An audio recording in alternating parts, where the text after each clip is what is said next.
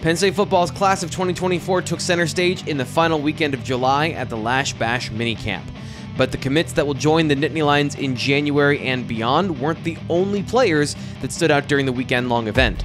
Several underclassmen, mostly on the offensive line, also shone during the one on one portion of camp.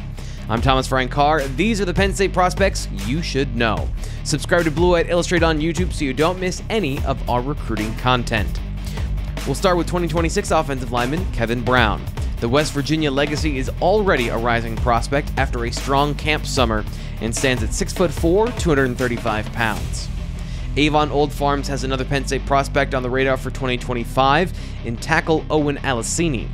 The 6'7, 275 pound offensive line prospect is a three star talent in the early rankings for next cycle. Aliciene got more reps than any of the other young offensive linemen, aside from 2025 interior prospect Michael Carroll. While he doesn't have an official ranking from two of the four recruiting services, Aliciene is the 437th player in the industry rankings. He's also a Penn State lean, having visited both Boston College and the Nittany Lions twice in his early journey. We're going back to New England for Connecticut's Will Black. Again, 6 feet 7 inches tall and flashed at Penn State's camp. He's another rising prospect in 2025. The last player we'll highlight is New Jersey native Michael Troutman.